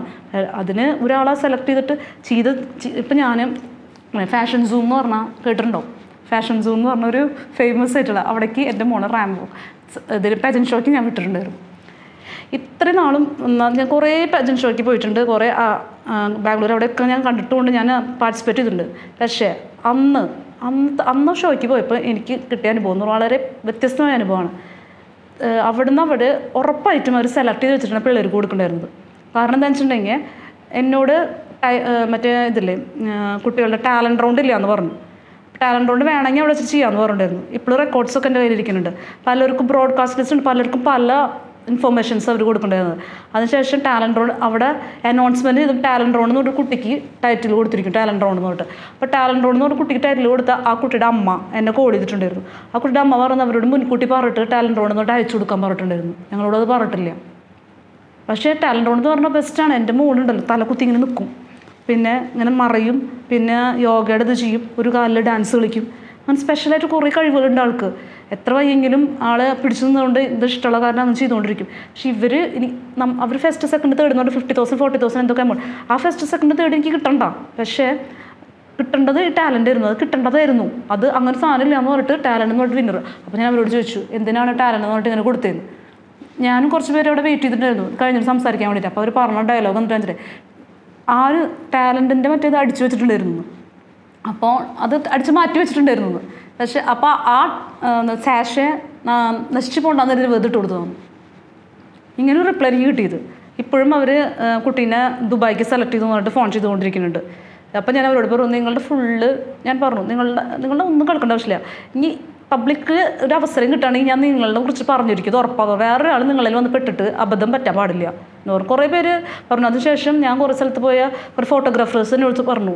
കാരണം അങ്ങോട്ട് പോകരുത് കാരണം ഞാൻ അവിടെ ഷോ ഫോട്ടോഗ്രാഫർ ആയിരുന്നിട്ട് ഇറങ്ങിയതാണ്. ഇവർ ഫുൾ ഫിക്സ് ചെയ്ത് വെക്കും. ഇടയിൽ കാശുകളൊക്കെ ഇടയിൽ മുൻകൂട്ടി വന്ന് ഫിക്സ് ചെയ്ത് വെച്ചതിന് ശേഷം വെറുതെ പിള്ളേരെ വിളിച്ചെടുത്തിട്ട് കോമാളി കളിപ്പിച്ചിട്ട് ഒന്നിനും കൊള്ളാത്ത ആൾക്കാർക്ക് ഓരോന്ന് കൊടുത്തിട്ട് വിടും. ഇതാണ് അവിടെ ചെയ്യുന്നത്. മിസ്സസ് ഇന്ത്യ റാമ്പിലേക്ക് നഗിത പോകുമ്പോ നഗിതയ്ക്ക് ഫേസ് ചെയ്യേണ്ടി വന്ന അവിടുത്തെ ഒരു അനുഭവം എന്തായിരുന്നു? ഒരു സുഖമുള്ള അനുഭവങ്ങൾ തന്നെ ആയിട്ട് അത് പങ്കെടുത്ത് വിൻ ചെയ്ത് വരേണ്ടി ഒരു സുഖമുള്ള അനുഭവം ഉണ്ടായിരുന്നില്ല. ഐ മീൻ എന്നിട്ടാ സന്തോഷമുണ്ട് അവിടേക്ക് പോകണേന് പക്ഷേ സുഖമുള്ള അനുഭവം ഉണ്ടായിരുന്നു ഞാൻ ഒറ്റയ്ക്കാണ് ട്രാവൽ ചെയ്തത്.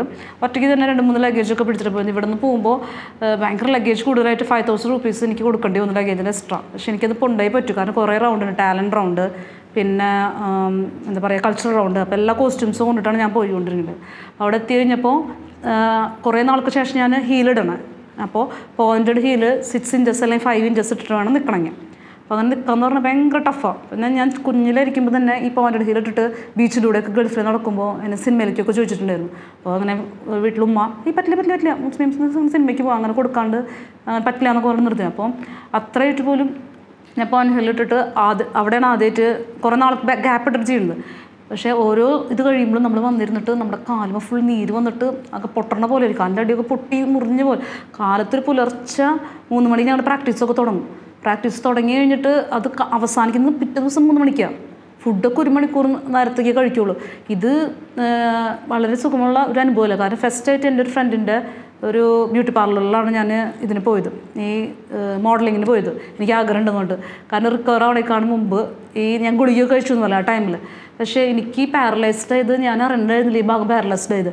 പക്ഷെ അവിടെ നിന്നാണ് ഞാൻ മനസ്സിലാക്കിയത്. കാരണം ഞാൻ ഫോട്ടോ ഫേസ് ചെയ്യുമ്പോൾ ഈ ഭാഗം ഇളകുന്നുണ്ടായിരുന്നു. അത് എനിക്ക് മനസ്സിലാവില്ല വേറെ ആൾക്ക് മനസ്സിലാവുള്ളൂ. അപ്പോൾ അവരെന്നോട് ചോദിച്ചു എന്തുകൊണ്ടാണ് ഈ ഭാഗം ഇങ്ങനെ ഇളകിക്കൊണ്ടിരിക്കുന്നത്? ടെൻഷൻ ഉണ്ടോ? എന്ന് ചോദിച്ചു. സാധാരണ ഒരു ഫോട്ടോയ്ക്ക് ഫേസ് എനിക്ക് ടെൻഷനില്ല ഞാൻ ഇങ്ങനെ നിൽക്കും അങ്ങനെ നിൽക്കും പല ഷേപ്പിൽ നിൽക്കുന്ന ആളാണ് ഇല്ല എനിക്ക് ടെൻഷനില്ല ഞാൻ ടെൻഷനല്ല എന്ന് പറഞ്ഞു. അപ്പോൾ അവർ പറയട്ടെ ഈ ഭാഷ ഇവർ ചെയ്തുകൊണ്ടിരിക്കും എനിക്ക് മനസ്സിലാവണില്ല. എന്നിട്ട് ഞാൻ വീഡിയോ എടുത്തിട്ട് ഞാൻ നോക്കിയപ്പോൾ ഈ ഭാഷ ഇവർ ചെയ്തുകൊണ്ടിരിക്കുക എന്നിട്ട് ഞാൻ വീണ്ടും ഡോക്ടറെ കാണാൻ പോയി. ഈ മരുന്ന് വെച്ചിട്ട് ഇങ്ങനെ ഷിവറിങ് വരുന്ന പറഞ്ഞപ്പോൾ ചിലർക്ക് പറ്റില്ല. ആഫ്റ്റർ എഫക്ട്സ് വരുന്ന പറഞ്ഞു. പിന്നീട് എല്ലാ മരുന്നും കൊണ്ടിട്ട് ഞാൻ കളഞ്ഞു. എവിടെയും കൊണ്ടിട്ട് പിന്നീട് ഡിപ്രഷൻ ആയപ്പോൾ ഞാൻ എല്ലാ മരുന്നും ഒരു ദിവസം എടുത്ത് കഴിച്ചു. എനിക്ക് ഈ പറ്റുന്നില്ല. അപ്പോൾ അങ്ങനെ കടിച്ചുകൊണ്ടിരിക്കുക അപ്പോൾ ഈ ഷിവറിങ് ആദ്യം മനസ്സിലാക്കി മനസ്സിലാക്കിയത് ഫസ്റ്റത്തെ ഷോ അല്ലായിരുന്നു. അപ്പോൾ എനിക്ക് നന്നായി ഇങ്ങനെ കുറേ സ്മൈൽ ഹോൾഡ് ചെയ്യാൻ പറ്റില്ല എന്ന് ഞാൻ മനസ്സിലാക്കി എടുത്തിട്ടുണ്ടായിരുന്നു അപ്പോൾ ഡോക്ടറോട് പറഞ്ഞപ്പോൾ അത് അത് മാറുന്നു. അപ്പോൾ മൈൻഡ് മെന്ററിനെ ഇടയ്ക്ക് വിളിച്ചു. ഇങ്ങനെ മരുന്ന്. അപ്പോൾ മൈൻ ആരോട് ചോദിച്ചിട്ട് മരുന്ന് കഴിക്കാൻ നിന്ന് നിങ്ങൾക്ക് മരുന്ന് കഴിക്കേണ്ട ഒരു പ്രശ്നം ഉണ്ടായിരുന്നില്ല. പലരും പലതും പറയും എല്ലാ മരുന്നും കളയാൻ പറഞ്ഞു. എല്ലാ മരുന്നും കളഞ്ഞിട്ട് എന്നും മൈൻ മണ്ടോട് സംസാരിക്കുമായിരുന്നു അപ്പോൾ ഓരോ ദിവസം ചിരിയുടെ ഫോട്ടോ അയച്ചു തരാൻ ഇന്നൊരു ചിരിച്ച ഫോട്ടോ അയച്ചു തരാൻ പറയും. പിറ്റേ ദിവസം ചിരിച്ചു അപ്പോൾ ഓരോ ദിവസം ഇമ്പ്രൂവ്മെന്റ് ഉണ്ട്. അപ്പോൾ എനിക്ക് ചിരിക്കുമ്പോൾ പറ്റില്ല ചിരിക്കുമ്പോൾ ഫ്രീ ഷിവറിങ് പാരലൈസ്ഡ് പോലെ. ചിരി ഇങ്ങനെ ഹോൾഡ് ചെയ്യാൻ പറ്റില്ല നമ്മൾ പല രീതിയിൽ ഫോട്ടോയിൽ ഇങ്ങനെ നിൽക്കുമ്പോൾ കുറേ ഹോൾഡ് ചെയ്ത് പിടിക്കാൻ പറ്റില്ല അപ്പോൾ ഇങ്ങനെ ഇളകിക്കൊണ്ടിരിക്കും ഈ ഭാഗം ഇങ്ങനെ.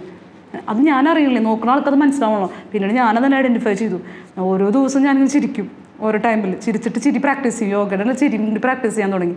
ഞാൻ ഫ്ലോർ എക്സസൈസ് ഒക്കെ ചെയ്യാൻ തുടങ്ങി. എലിപ്റ്റിക്കൽ ക്രോസ് ട്രെയിനറൊക്കെ വീട്ടിൽ കൊണ്ടു വെച്ചിട്ട് എക്സസൈസ് ചെയ്യാനും തുടങ്ങി.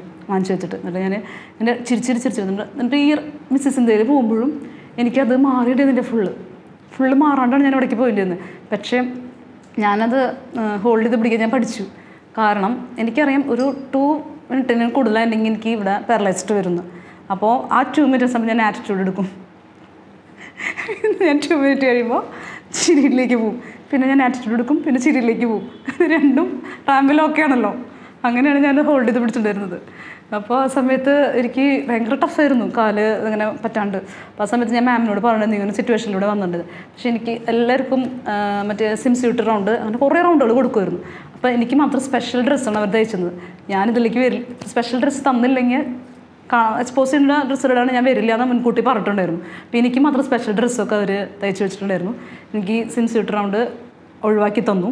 അങ്ങനെ. കാരണം അവർ പറഞ്ഞിട്ടുണ്ട് എല്ലാവർക്കും ഒരു അവസരം വേണം. കാരണം എല്ലാത്തിലും വിൻ ചെയ്ത് പോയിട്ട് ഈ ഡ്രസ്സിന്റെ കാര്യം പറഞ്ഞിട്ട് മാത്രം മാറ്റി നിർത്താൻ പാടില്ലല്ലോ. അപ്പോൾ അതുകൊണ്ട് നിങ്ങളും ഇതിലേക്ക് വരേണ്ടത് നിങ്ങൾക്ക് നിങ്ങളെ കഴിവുണ്ട് എന്ന് പറഞ്ഞിട്ട് നമുക്ക് നമ്മൾ നല്ല സപ്പോർട്ടായിട്ട് നിർത്തിയിരുന്നത് അപ്പോൾ എനിക്കാണെങ്കിൽ എനിക്ക് ചിലപ്പോൾ ഞാൻ സ്ലീവ്ലെസ് യൂസ് ചെയ്യാറില്ല. പക്ഷേ എക്സ്പോസ് ചെയ്യുന്ന സാധനം. പക്ഷേ അങ്ങനെ നിൽക്കാൻ പറയുമ്പോൾ ചിലപ്പോൾ എനിക്ക് ഫോട്ടോ നിൽക്കുമ്പോൾ എനിക്ക് കംഫർട്ട് കിട്ടില്ല. അപ്പോൾ നമ്മൾ യൂസ് ചെയ്തുകൊണ്ടിരിക്കുന്ന ഡ്രസ്സ് ഇട്ടിട്ട് ഫോട്ടോസ് എനിക്ക് പോസ്റ്റ് ചെയ്താൽ മാത്രം നമുക്ക് കംഫർട്ടായിട്ട് നിൽക്കാൻ പറ്റുള്ളൂ. അപ്പോൾ കുറേ കഷ്ടപ്പെട്ടിട്ടുണ്ട് അവിടെ. രാത്രി പുലർച്ചെ രണ്ടേ മുക്കാലിലായിരുന്നു എന്റെ കൾച്ചറൽ റൗണ്ട് ഉണ്ടായിരുന്നത്. ഇതിന് വേണ്ടിയിട്ട് ഞാൻ എന്റെ വീടിന്റെ അടുത്തുള്ള ഒരു ചേച്ചി അമൃത ചേച്ചിയുണ്ട്. ആ ചേച്ചിയുടെ അടുത്ത് പോയിട്ട് ഡാൻസ് പ്രാക്ടീസ് വരുന്നു. ഓഫീസ് വിട്ടിട്ട് നേരെ അങ്ങോട്ട് പോകും. എന്നിട്ട് രാത്രിയിൽ ഡാൻസ് പ്രാക്ടീസ് ഇട്ട് പോകും.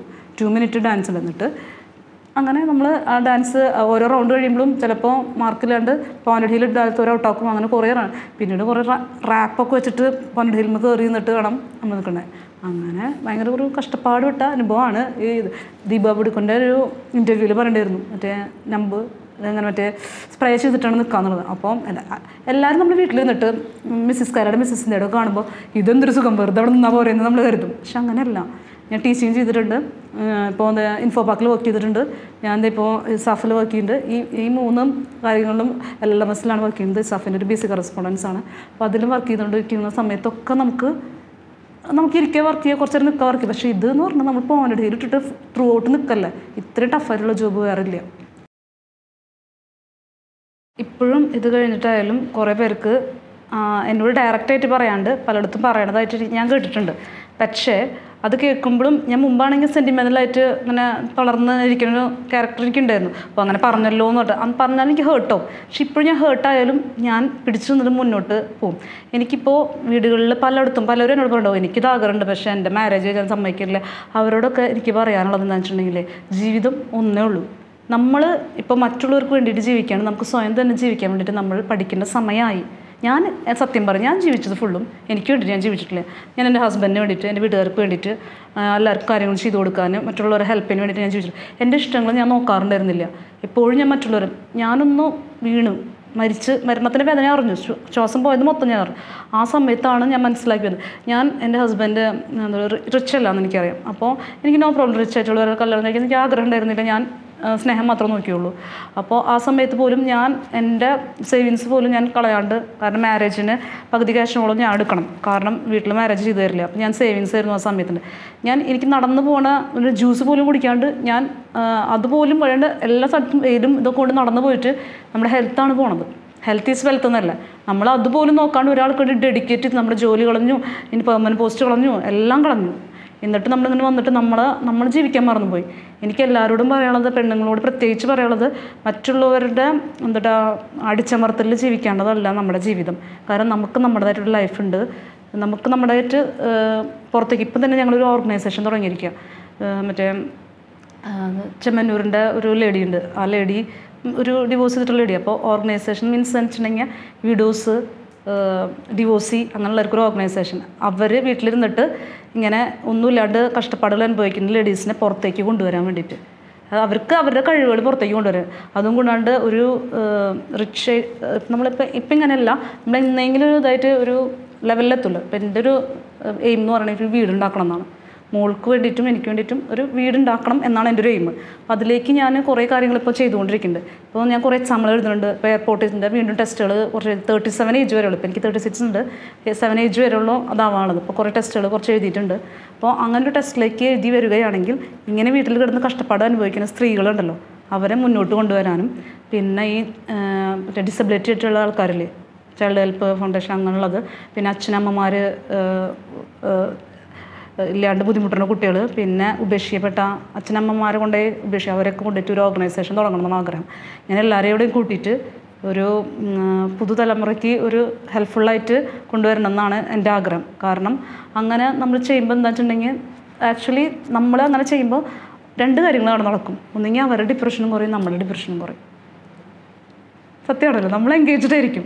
നമ്മൾ നമ്മുടെ ഡിപ്രഷൻ കുറയും അവർക്കും സന്തോഷം.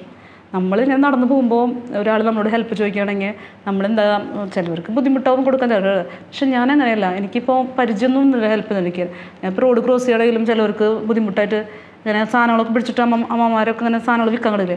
എന്നിട്ട് ഞാൻ കൈ പിടിച്ച് കടത്താറുണ്ട്. കുറേ പേര് എന്നോട് പറയും ഇങ്ങനെ പരിചയമില്ലാത്തവരെ കൈ തൊടാൻ പാടില്ല. അങ്ങനെയാണ് പല അസുഖങ്ങൾ വരും. ഞാൻ എല്ലാവരും കൈ വന്നിട്ടുണ്ട്. എനിക്കൊരു അസുഖം വന്നിട്ടില്ല. ഒരു കൊറോണയും വന്നിട്ടില്ല. എനിക്ക് ആ കൂടി ഡെലിവറിയുടെ ഈ പ്രശ്നം അത് ഞാനായിട്ട് വരുത്തിയതല്ല. എനിക്ക് ഇഞ്ചക്ഷനും ചെയ്തില്ല കൊറോണയുടെ എനിക്ക് ഇതുവരെയായിട്ട് അങ്ങനത്തെ പ്രശ്നങ്ങളൊന്നും വന്നിട്ടില്ല. ദൈവം കൂടെ ഉണ്ടെന്ന് വിശ്വസിച്ച് മുന്നോട്ട് പോണ ആളാണ് അപ്പോൾ എല്ലാ ലേഡീസിനോടും എനിക്ക് പറയാനുള്ളത് നിങ്ങൾക്ക് നിങ്ങളുടേതായിട്ടുള്ളൊരു ജീവിതമുണ്ട്. അത് മറ്റുള്ളവരുടെ അങ്ങനെ അടിച്ചമർത്തലിന്റെ പേരിൽ കളയാളതല്ല എല്ലാവരും മുന്നോട്ട് വന്നിട്ട് നമ്മുടെ കഴിവുകൾ പുറം ലോകത്ത് കാണിക്കേണ്ടതാണ്. എന്നെ കാണുമ്പോൾ എന്റെ റിലേറ്റീവ്സോ എന്റെ ഫാമിലിയോ ആരും എന്നെ അപ്രിഷ്യേറ്റ് ചെയ്തിട്ടില്ല. മീൻസ് അവർക്ക് അപ്രിഷ്യേറ്റ് ചെയ്യാനുള്ള വാക്ക് ആ കൂടിയിട്ട് രണ്ട് മൂന്ന് ഡിസ്റ്റർ റിലേഷനിലുള്ള ആൾക്കാരും പിന്നെ ഒരു കസിന് മാത്രമേ എന്നെ അപ്രിഷ്യേറ്റ് ചെയ്തിട്ടുള്ളൂ. കസിൻസ് ഡയറക്റ്റ് കസിൻസ് രണ്ട് മൂന്ന് പേര്. ബാക്കി എല്ലാവരും എനിക്ക് കൺഗ്രാജുലേഷൻസോ നല്ലതായിക്കോട്ടെ. നീ വീഴാണ്ട് ഉണർന്നു വന്നല്ലോ ഒന്നും ആരുടെ നല്ല വാക്കുകൾ കിട്ടിയിട്ടില്ല. അത് ഞാൻ പ്രതീക്ഷിച്ചിട്ടില്ല സത്യം പറഞ്ഞാൽ പക്ഷേ ഇപ്പോഴും അങ്ങനെ അവരുടെ നിലപാടിൽ കൂടെ പോകണം പക്ഷെ പറഞ്ഞിട്ടും കാര്യമില്ല. ഇപ്പം എന്നോട് പറഞ്ഞിട്ടുണ്ടെങ്കിലും ഞാനത് കേൾക്കില്ല എന്ന് അവർക്കറിയാം. മുന്നത്തെ ഞാനല്ല ഇപ്പോഴത്തെ ഞാൻ ഞാൻ എനിക്ക് മുമ്പെന്ന് പറഞ്ഞാൽ ഞാൻ ആരെങ്കിലും എന്തെങ്കിലും പറഞ്ഞ് തിരിച്ച് പറയില്ലായിരുന്നു. ഞാൻ സൈലന്റ് ആയിട്ട് മാറി നിന്നിട്ട് കരയുകയും അങ്ങനെ. ഇപ്പം ഞാനല്ല. ഇപ്പം ഞാൻ എനിക്ക് ന്യായമല്ലാത്ത കാര്യങ്ങൾ എന്തെങ്കിലും ആരെങ്കിലും പറഞ്ഞാൽ അപ്പം ഞാൻ മറുപടി കൊടുക്കും. അതിന് ക്രിട്ടിസൈസ് അല്ല. നമ്മളതിനുള്ള ന്യായം ഇപ്പം ഞാൻ പറഞ്ഞു ഫിഫ്റ്റീൻ തൗസൻഡ് റുപ്പീസ് തരാമെന്ന് പറഞ്ഞു ജഡ്ജസ് ആയിരിക്കാൻ പറഞ്ഞു. അപ്പം ഞാൻ പറഞ്ഞു എനിക്ക് ഫിഫ്റ്റീൻ തൗസൻഡ് വേണ്ട. എനിക്ക് രണ്ടായിരം കിട്ടിയാൽ പോലും ആയിരം കിട്ടിയാൽ പോലും ഞാൻ ഒരു സ്ഥലത്ത് പോയി ജഡ്ജായിട്ട് ഇരിക്കുകയുള്ളൂ അതെന്റെ നിലപാടാണ്. എന്തുകൊണ്ട്? നാളെ എന്റെ മോൾ ഉയർന്നത് പക്ഷേ എനിക്കിങ്ങനെ ഇത് തെറ്റായി ചെയ്തിട്ടുണ്ടെങ്കിൽ എനിക്ക് ഭയങ്കര കുറ്റബോധത്തിന്റെ ആളാണ് ചെയ്യാത്തത് ചെയ്തു എന്ന് പറഞ്ഞാൽ എനിക്ക് ഭയങ്കര ഫീലിങ്ങാണ് അപ്പോൾ പിന്നെ എനിക്ക് ഉറക്കം കിട്ടില്ല. അയ്യോ അങ്ങനെ ചെയ്തില്ലേ അങ്ങനെ ചെയ്തില്ലേ. അത് നമുക്ക് തന്നെ തിരിച്ചു കിട്ടും. ഒരു നമുക്ക് കർമ്മ എന്നുള്ളത്. നമ്മൾ എന്ത് തെറ്റ് ചെയ്താലോ നമുക്ക് തിരിച്ചു കിട്ടും. ഇപ്പോഴും ഞാൻ ചെയ്യാത്ത കാര്യങ്ങൾ പലരും എന്റെ തലയിൽ കെട്ടി വെച്ചുകൊണ്ടിരിക്കുന്നത്. ഇപ്പം ഈ ഇതിന് പോയില്ലേ? നമ്മൾ മിസ്സിസ് മിസ്സിസ് വേൾഡ് ഗോർജസ് അത് ഇപ്പോൾ ട്വന്റി ട്വന്റി ഉണ്ടായിരുന്നു. അതിന് വേണ്ടി പോയപ്പോഴൊക്കെ എല്ലാവരും പറയണത് അവിടെ ബാഡ് കാര്യങ്ങളാണ് നടക്കണത് അപ്പോൾ ഓരോന്ന് ചെയ്തിട്ടാണ് ഇതൊക്കെ കിട്ടണത് എന്നൊക്കെ പറഞ്ഞു. പക്ഷേ ഞാൻ പറയാം. അങ്ങനെയുള്ള ഓർഗനൈസേഷൻസ് പക്ഷേ ഞാൻ പോയെടുത്ത് അങ്ങനെ ഇല്ല. അവിടെ ഒരു ഞങ്ങൾക്ക് ഇതുണ്ട് എഗ്രിമെന്റ് ഉണ്ടായിരുന്നു. എഗ്രിമെന്റിൽ പ്രത്യേകം എഴുതി വെച്ചിട്ടുണ്ട് ആഹ്, അങ്ങനെ സെക്ഷൽ റിലേഷൻഷിപ്പ് പോലീസ് കേസസോ അങ്ങനെ വരികയാണെങ്കിൽ എടുക്കില്ല. അവർ ഔട്ടായി പോകുന്നു. അത്രയും നല്ല ഓർഗനൈസേഷൻ സെലക്ട് ചെയ്തിട്ടാണ് ഞാൻ പോയിട്ടുള്ളത്. ഇതുവരെ അതിന്റെ ഉള്ളിൽ ഒരു ബാഡ് കാര്യങ്ങളും നടന്നിട്ടില്ല. ഞാൻ ഡയറക്റ്റായി കണ്ടിട്ടുള്ളതാണ്. ഞാൻ ജെന്യൂനായി പറയാണ്. അങ്ങനെ ഉണ്ടാവണമെന്നുണ്ടാവായിരിക്കും പക്ഷേ ഞാൻ പോയിട്ടൊന്നും അങ്ങനെ ഇല്ല. പലപ്പോഴും ആ സമയത്ത് ഞാൻ ക്രൗൺ പ്ലാസയിലാണ് ഞങ്ങൾ നിൽക്കേണ്ടിയിരുന്നത് ഓപ്പോസിറ്റുള്ളൊരു ബോയ് ഉണ്ടായിരുന്നു. നോർത്ത് ഇന്ത്യനായിരുന്നു. ഇടയ്ക്കിടയ്ക്ക് വന്നിട്ട് നോക്ക് ചെയ്യുന്നു കോളിംഗ് ബെല്ല് അടിക്കുമായിരുന്നു. ഓരോന്നൊക്കെ ചോദിച്ചിട്ട് ഓരോന്ന് വന്നിട്ട് ഞാൻ മറ്റേ അവിടെയുള്ള ബോയോ വിചാരിച്ച് ഞാൻ തുറന്നുണ്ട് പക്ഷേ കുറച്ച് നേരം സംസാരിച്ചിരിക്കുന്നു. പറഞ്ഞു അങ്ങനെ പല മോശം അനുഭവങ്ങൾ. പക്ഷെ നമ്മളത് ഡസൻ മാറ്ററായിട്ട് എടുത്തിട്ട് നമ്മൾ അവരോട് മിണ്ടാൻ പോയോ അങ്ങനെ ഇതാക്കി. ഞാൻ ഒറ്റയ്ക്ക് പോയി ഒറ്റയ്ക്ക് വരെ ചെയ്യണത്. എന്ത് വേണേലും ആവുമായിരുന്നു. കാരണം ഞാൻ ഫുൾ ടൈം വീട്ടിൽ നിന്ന് ഇറങ്ങുമ്പോൾ വീഡിയോ കോളി ഞാൻ എത്ര പേരെ എന്റെ മോളെ വീഡിയോ കോൾ എഴുതുള്ളൂ അവിടെ നിന്ന് ഇറങ്ങുമ്പോൾ വീഡിയോ കോളിയും ചിലപ്പോൾ ഇപ്പോൾ എനിക്ക് വ്ളോഗ് സ്റ്റാർട്ട് എന്ന് ഭയങ്കര ആഗ്രഹം ഉണ്ടായിരുന്നു മുമ്പ്. ആ സമയത്ത് എനിക്ക് സൗണ്ട് പോയിട്ട് കുറേ നാളിരുന്നു. ഞാൻ മരുന്നിന്റെ എഫക്റ്റ് കാരണം. പേനോട് പേപ്പർ കൊണ്ടൊക്കെ എഴുതിയിട്ട് എഴുതിയിട്ടാണ് ഞാൻ കഴിഞ്ഞിട്ടുണ്ടായിരുന്നത് പറ്റണത്. ഇപ്പം ഞാൻ അത് അഗെയിൻ സ്റ്റാർട്ടാക്കിയിട്ടുണ്ട് ഞാൻ വ്ളോഗ് അപ്ലോഡ് ചെയ്തിട്ടില്ല. ഇങ്ങനെ ഇപ്പോൾ ഇങ്ങോട്ട് വന്നുകൊണ്ടിരിക്കുമ്പോൾ ഞാൻ ഓട്ടോറിക്ഷയിൽ നിന്ന് വ്ളോഗ് എടുത്തുകൊണ്ട് ഇറങ്ങി അപ്പോൾ അതെനിക്ക് ഭയങ്കര ഇഷ്ടമാണ് അപ്പോൾ ഞാൻ വോയിസ് ഇടയ്ക്ക് പോണായിരുന്നു. ഞാനത് സ്റ്റോപ്പ് ആക്കിയിരിക്കുന്നു. അപ്പോൾ ഞാൻ അഗെയിൻ സ്റ്റാർട്ട് ആക്കിയിട്ടുണ്ട്. പലയിടത്തും മോശം അനുഭവങ്ങൾ വന്നിട്ടുണ്ട്. പക്ഷേ അതിൽ നിന്നൊക്കെ ഞാൻ ഓവർകം ചെയ്തിട്ട് വന്നിട്ടുണ്ട് ഇപ്പോൾ ഇതുവരെ.